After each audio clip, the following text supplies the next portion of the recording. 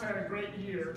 He's had a great two years for me, and uh, has been a, a, a, a young man that uh, consistently you would never have to worry about. He's doing the right thing in the water, out of the water, and because of that, I appreciate it being a part of it.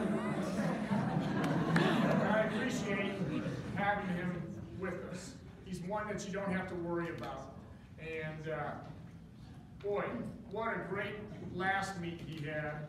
Ended up uh, dropping, what, four seconds, five seconds in the 100 free. And uh, had a wonderful swim there. And it was out in front. And it was, it was really cool to see someone who worked so hard have the success that he did. He also dropped three more seconds in the 50 and is going to be the, the alternate on all three relays here at state. So great job, great job. I'm to Marquette and studying biochemistry. So you liked it up there? You did. All right. In biochemistry. Well, that's awesome. That's, that's beyond me. I'm, I appreciate that and uh, wish you the best. Okay? Let's have fun this weekend.